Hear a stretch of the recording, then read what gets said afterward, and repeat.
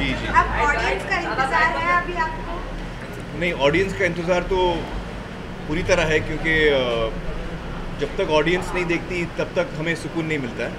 खुशी हमें बहुत है कि जो लोग हमारे बिराद- बिरादरी के हैं फ़िल्म इंडस्ट्री के हैं वो हमारी फ़िल्म आके देख रहे हैं और सभी को बहुत पसंद आ रही है।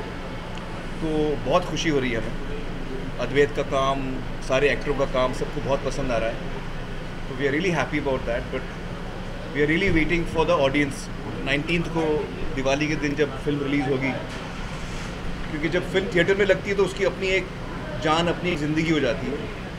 तो we are keenly awaiting that hopefully लोगों को पसंद आएगी।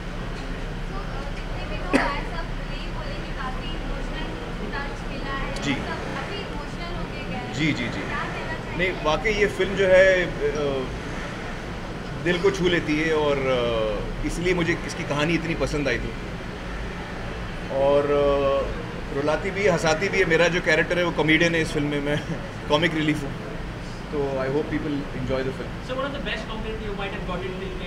uh, uh, Anil's, uh, there's so many people have walked in screening, sir. For me the best compliment was मुझे कई लोगों ने बोला कि आज तक की ये मेरी सबसे अच्छी फ़िल्म है। तो ये मुझे बहुत अ, अच्छा लगा सुन के। Well just waiting for the audience to see the film fingers crossed